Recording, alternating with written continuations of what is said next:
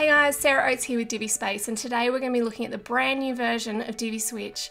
Divi Switch is a plugin that allows you to enhance your Divi website so that you can achieve so much more than you can just out of the box with Divi. And ordinarily you would have needed a bunch of CSS or JavaScript to achieve any of these things, but now all you need to be able to do is turn a switch on or off and your website's going to be amazing. So let's go take a look at Divi Switch.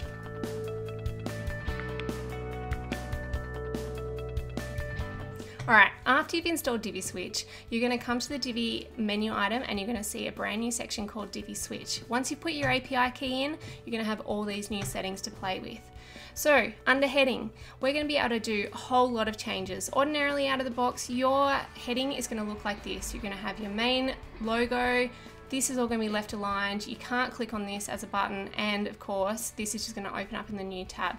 And as you scroll up, same logo, just a little bit smaller. But now if we turn on all of these settings here, so we're just gonna turn all of these on, and then we're gonna upload a brand new logo so that as it scrolls up, it's gonna show something else. Now we're gonna click save and come through to our new page and it's gonna look like this. So now we have it going full width because we said we wanted it to be a, a mobile app style. Sorry about that, forgot, forgot my words. Now it's center aligned, you can click on this, it's going to make a phone call. This is going to open up in a new tab and as we scroll up, this now changes this icon. Super easy, just like that, you're going to be able to switch things on and off. And of course, all of those are their own separate settings that you can make changes to as you want to.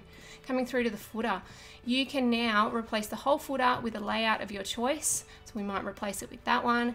We can stop it from floating. So as you can see here on this page, we don't have enough content and this menu is sitting really high. It's also just the standard Divi menu. So what we're going to do is stop that from floating. We're going to hide the bottom bar. So that bar that we just saw, we're going to replace it with our own one.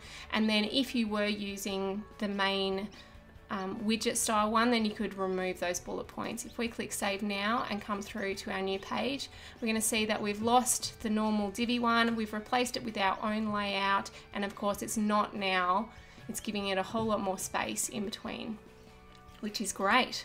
All right, coming through to the main content. Now you can remove that dividing sidebar line. So if we come through to a normal blog post, we can see here we've got that normal line there on the sidebar. We can get rid of that if we want to.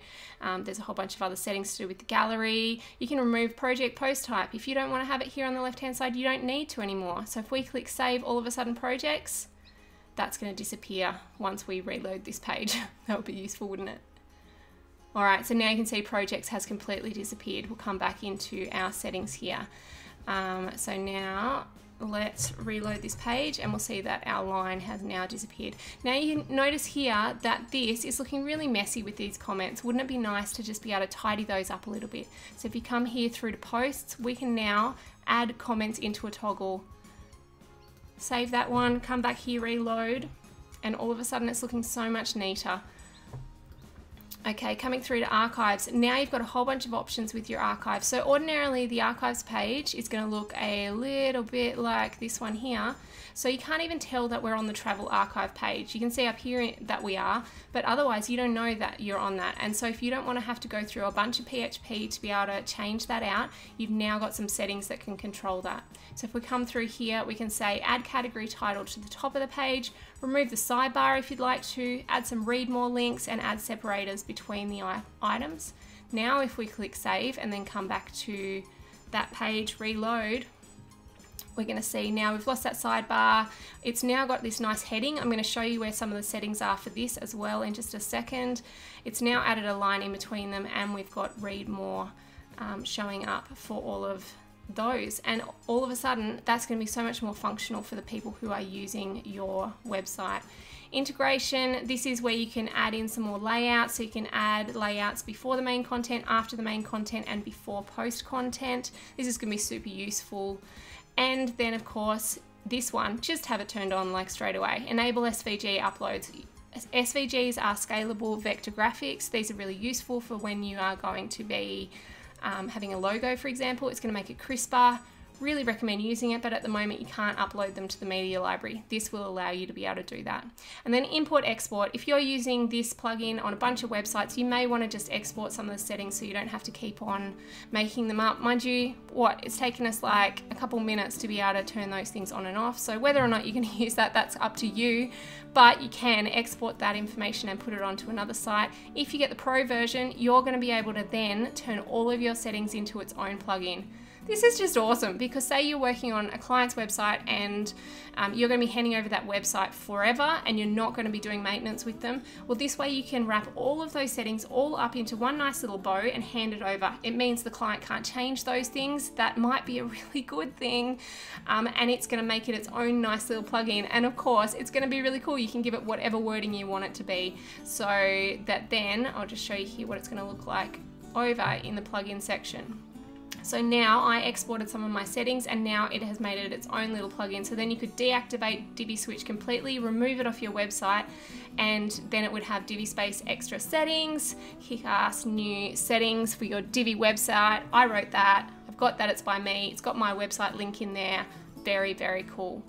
And then the final thing to show you is the customizer. So this is going to give you a few more settings that you're going to be able to customize just some of the look and the feel of things. So if we come through here to the customizer to Divi Space settings and then into Divi Switch, you're going to get a bunch of extra settings. So this is going to allow you to change this icon to anything that you want to change it to. Obviously you want to make it something that makes sense. I think a down arrow or something like that is going to make the most sense. You can put an image behind there if you want to. You can edit those settings for those images. You can change this back to top icon. This is probably one of the most useful things. So now we've made it so that it's a really bright color. It's a little bit bigger than it was before. It's sitting in from the side.